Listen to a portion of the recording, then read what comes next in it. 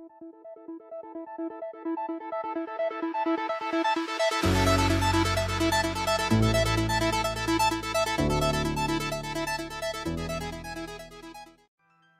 mini enthusiasts, how are you doing? Welcome back. It's part 21 of the classic mini workshop project KITT build. So this week, by popular demand, we're having a bit of a change up in music. I was getting bored of the relaxing piano music myself. We'll probably come back to it, but um, we'll have something different for the time being, so I'm sure Piper Doug will be gutted. So as you can see, we're getting some paint on the top half of the car now. So Mark's just going around and getting everything in just high build primer at the moment.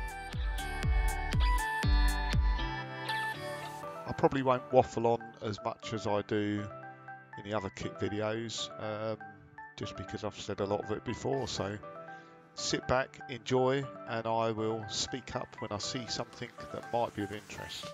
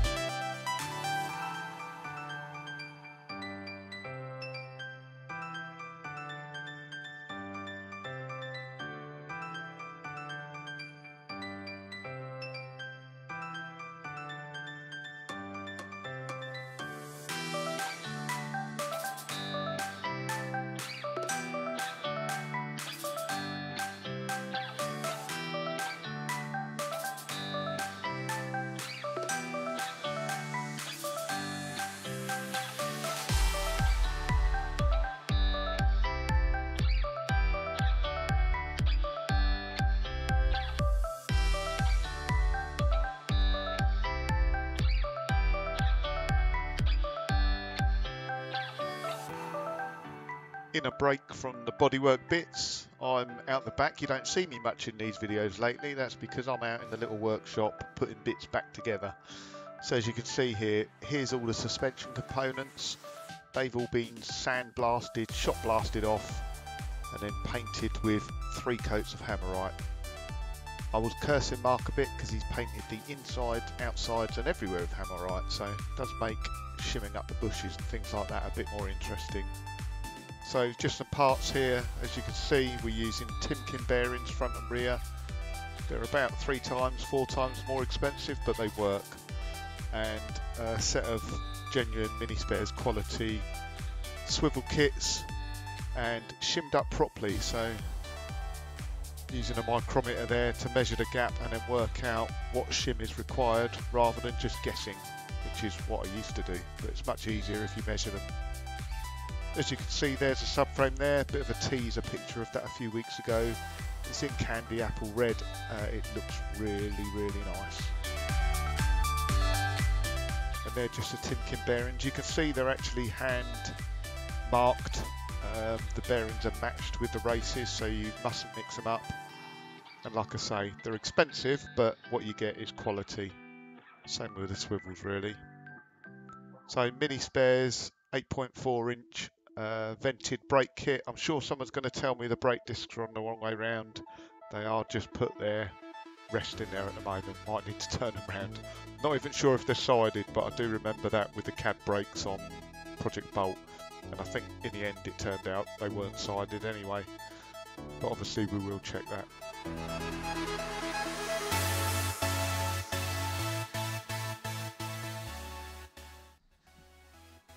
All primed,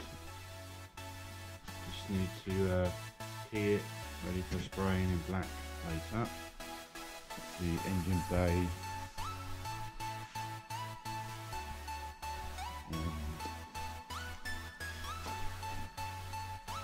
do. Give that key and give that a spray later.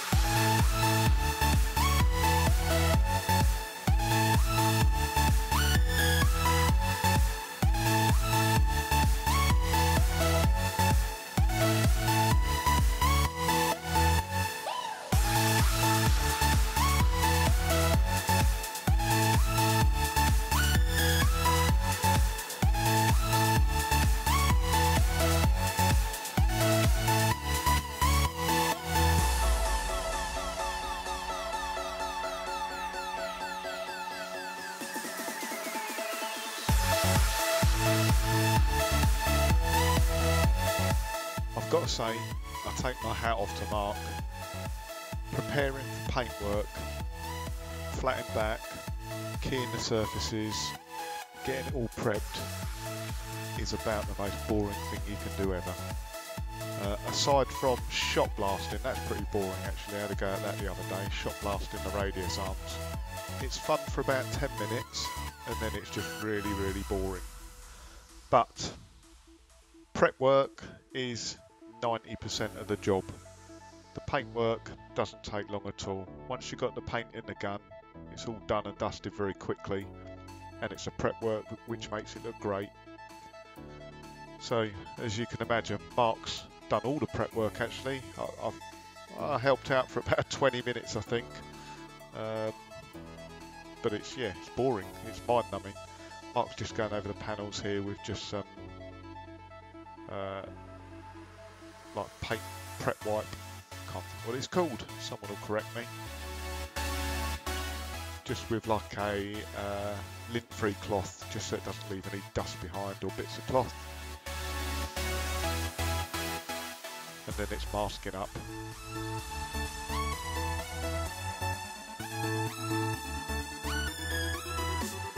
When you sort of see the amount of work that goes into doing something like this, and this was a relatively light restoration really.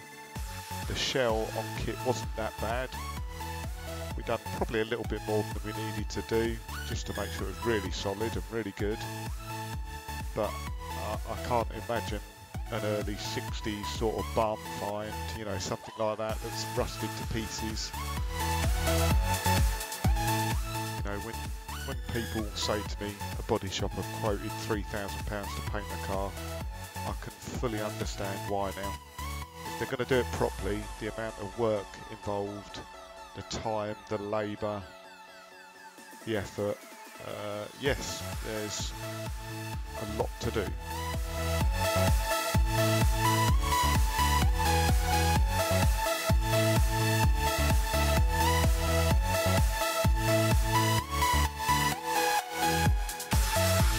Bye.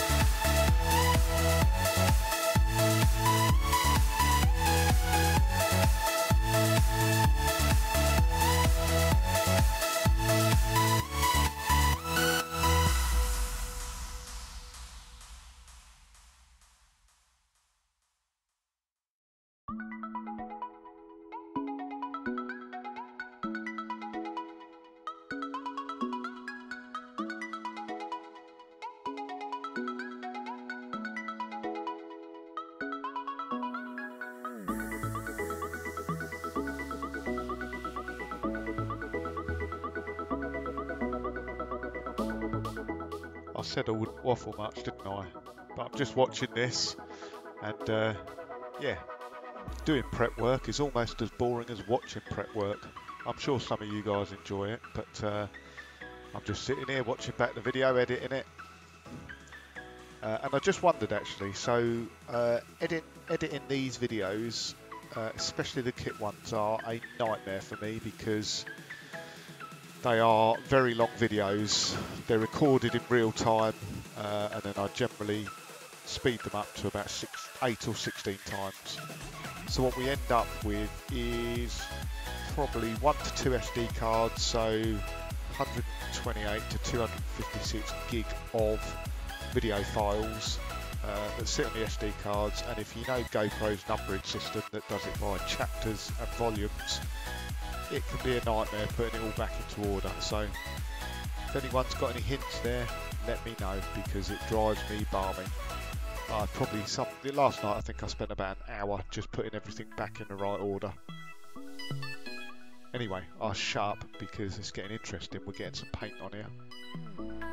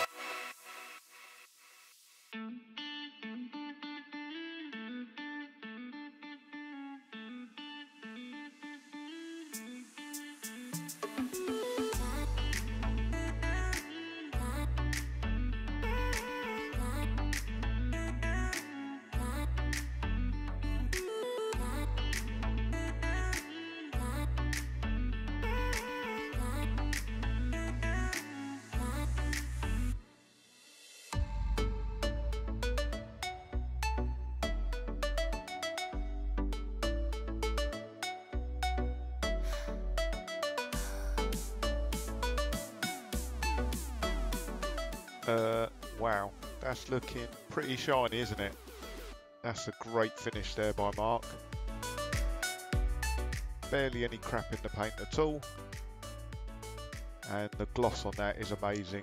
And just imagine the outside of the car is going to be black gloss like that, but it's going to have sparkles in it as well. So Mark's already done a test panel and it looked really cool so I can't wait. It's going to be this week, so this time I think. There's the boot, quite difficult to see. Mark was a bit gutted because there was a bit of dust that got in the paint of the boot. Very, very difficult because it's uh, lots of places for dust to hide in there. And of course, when you start spraying the spray gun around, it blows everything everywhere. But fortunately, the dust was in the spare wheel well, so that ain't going to be visible once the wheel's in there and the boot trim and everything like that. But like I say, as you can see, it's looking great as it is, and they're just on the areas you don't see, then that's not on the main bodywork. So the main bodywork will be gloss black with sparkles in the paint as well.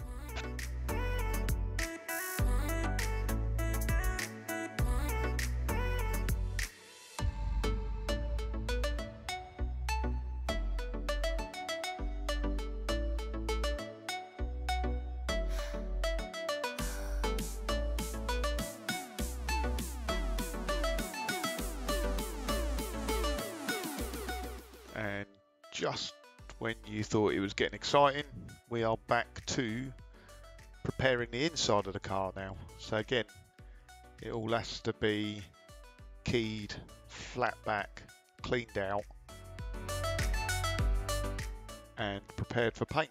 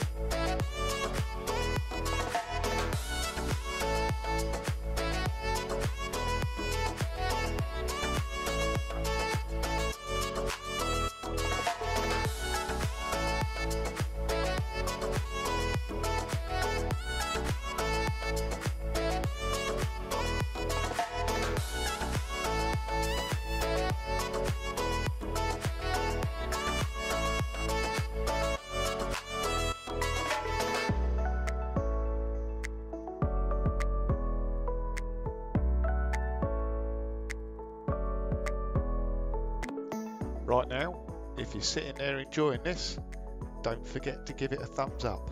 In fact, do it now. And if you don't enjoy it, don't give it a thumbs down. Turn the video off, go and watch something else. Don't like thumbs downs. Seem a bit pointless unless someone leaves a bit of feedback telling me why.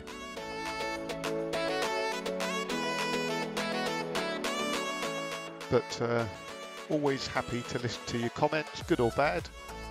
I have found on YouTube there's some real experts out there, people that know far more than I do, and they've been really helpful along the way. So thank you very much, guys. Really, really appreciate it. And I've been trying to do an upload of KITT about once a week, but what we're finding at the moment is Mark, Mark more than me, Mark's working so fast, I'm struggling to keep up with it because each of these videos, it probably takes start to finish probably about three to four hours of my time. And uh, yeah, Mark's chucking SD cards at me quicker than I can get them uploaded. Good news for you guys is I think we're probably on about two uploads a week at the moment on average.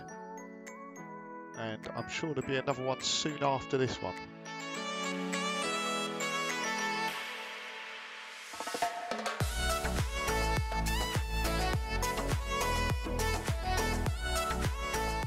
Mark's just giving a final go over prep with the hoover there. It is difficult to keep it clean because you think of the amount of cutting and grinding and welding we did on this car. So all that dust and dirt and everything ends up inside the shell.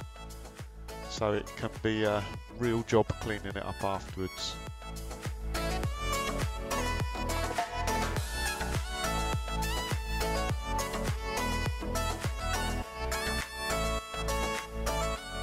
There we go, the interior. All in primer. Not actually going to see a great deal of paintwork once all the interior is in there. Probably the cross member, although that will probably get covered up by carpet. Tops of the doors, door frames, rear door bins. But you know what Mark's like, he's a bit of a perfectionist, so that will all have an amazing finish. Not going to bore you with the painting bits again. We'll just go ta-da! And uh, it's done. Look at that. I wish it was that easy in reality. But yeah, looking pretty great. So we're getting towards the end of the video again. About 20 minutes. I have another SD card to work my way through I think there's one more video. It might be prepping the interior actually. Can't remember. I'll have to have a look. But the good news is this week, so it's Monday now. I think by Wednesday the exterior bodywork will be painted. So guys, thanks for tuning in. I appreciate your input and catch up with you again very soon.